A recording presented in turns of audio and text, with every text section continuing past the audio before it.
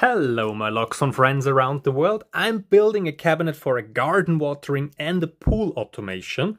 So let me show you what I'm doing. I have the brand new Loxone Power here, 100 watts, super small, especially in this rather slim um, high waterproof cabinet. Then I have my Miniserver and a couple of extensions. RS485 for the chlorine system. This is regulated and there is an interface.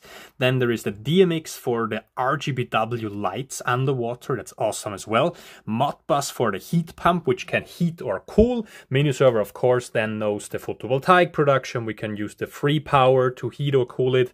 Then we have the airbase for the six-way valve, the Aquastar air check it out on the Loxone side, and a relay extension for more outputs because with the garden watering there are several circuits, and there is a circuit for the filter pump, um, for the magnetic valve to refill the water level. There is a 0 to um, 10 volt sensor, 0 to 0.3 bar for the water height, so there is no swimmer, but there is just a pressure sensor which is installed at the very bottom of the pool, and then you know exactly the weight of the water above.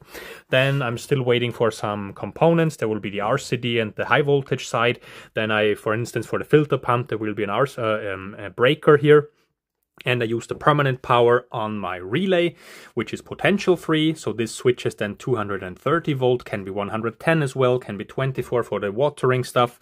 And then I when the Miniserver decides minimum 10 hours a day but preferred with free energy then switch it and then this goes on top here on my terminal blocks. We'll talk uh, i will show you in a second. And then we just connect the pool pump coming here on the first one and the neutral and the protective earth up here.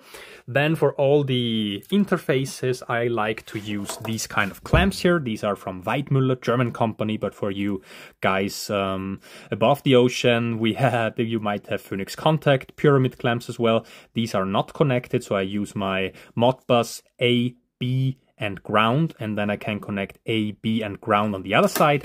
Whereas these ones here are bridged, so these are perfect for one wire, for Tree, green and white, and then you have here lots of cables to connect to, or plus and minus um, 24 volt from the power here.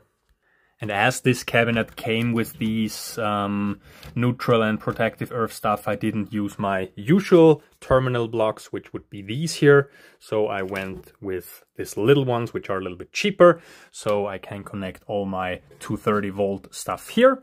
And for the watering system, make sure to check the datasheet because typically those valves are AC, not DC, even if they are 24 volt. Short to short, see you in the next one.